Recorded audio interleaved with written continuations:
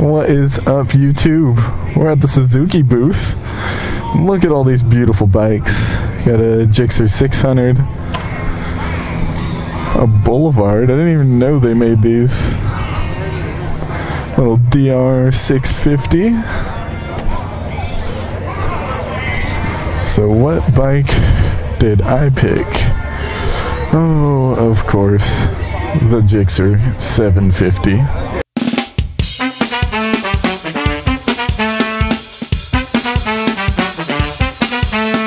This seems a lot more leaned over than the uh, the 600. Yeah, see, I don't know if I could do this as a permanent thing. Oh, that freaking engine. I like the gear indicator though. Oh, that stalled it.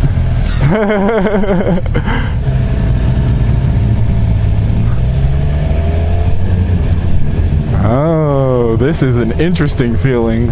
I feel like I'm way too big for this bike. Oh, but it does sound pretty. I'll give it that.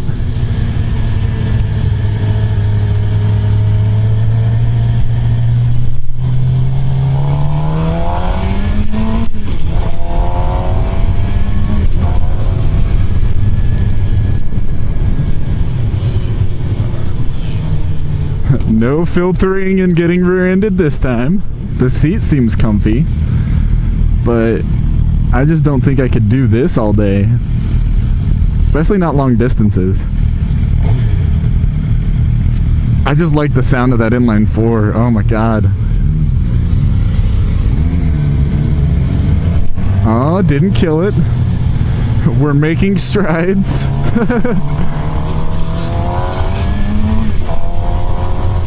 Oh, that that shifting is really smooth. I like that. The clutch in and out motion is really smooth. The shifting is really easy. Like on the on the Ninja, I have to literally kick the shift lever.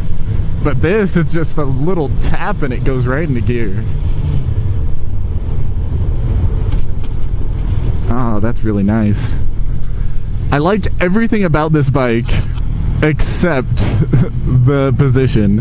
In order to like stay in gear while at a stop, I have to be like hunched over just to hold the clutch in. It's just a habit. That's just how I ride. Oh shit. I killed it.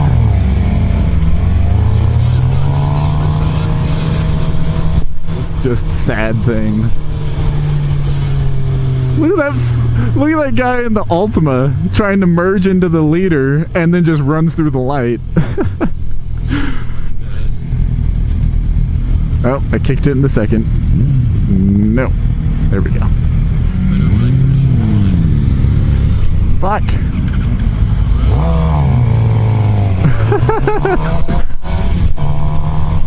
oh god, I keep stalling it, it's so bad. It's because I keep, like, the sound of the revs sounds so loud that I just don't rev it past, like, 4K, and then I try and take off, and the bike's like, dude, what are you doing? I just need to remind myself to rev higher. I'm just gonna go ahead and rev it to, like, 12K, dump the clutch. What could possibly go wrong?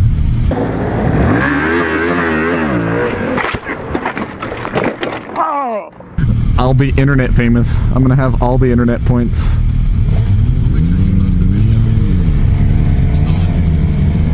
Got it, yay! I can feel the heat of this bike a lot more on my legs, but I guess that's just because of the positioning of the pegs and everything.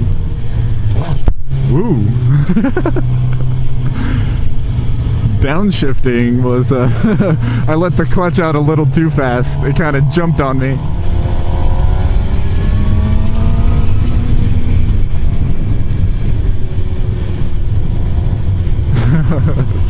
The pull on this thing is fucking ridiculous.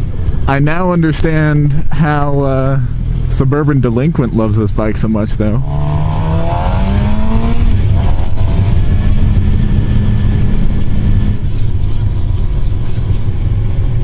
Oh my god, and it just flicks over. This is nice. It just flicks over like nothing. And I feel like hitting a serious bump on this would just destroy my nuts. Look at that. No foot down and I didn't stall it. I'm getting the hang of this. And the throttle's not nearly as touchy as I had kind of always imagined it would be. Because it's really easy to just freaking roll on it. And even if you give it a little too much, it, it doesn't try and freaking come out from under you. God, and the gear indicator. Gear indicator is the best. Just, uh, yeah. That exhaust, even stock, just sounds beautiful on the freaking inline four. Yeah, really the only thing I would change is just bringing the handlebars up a little bit. Even if, even just like three inches would be enough. That's what she said. I guess my final synopsis of this uh, particular bike, though, is way too leaned over. The seat's kind of comfy. The legs aren't too cramped, but the bars are just too fucking low. It's got really good power, and it shifts really easily, and I mean, everything else about the bike is phenomenal. Oh, that and I'm a fucking giant and I look like a giant on this thing. I can only imagine the perspective from uh, your angle. I wish we could have gone on the freeway to really open these fuckers up, but oh wow. It is really easy to control the throttle on this though. Alright, well, test ride number one, complete.